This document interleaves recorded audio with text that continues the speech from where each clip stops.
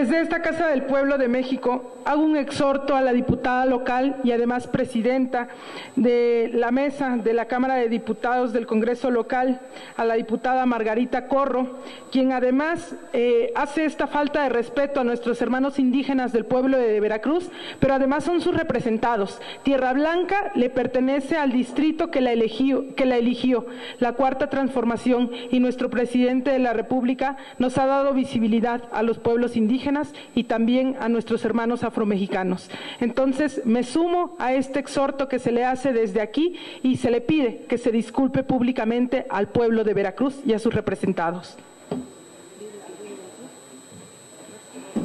Y también soy diputada local que representa a nuestros hermanos indígenas, soy diputada federal que representa a nuestros hermanos indígenas de Veracruz.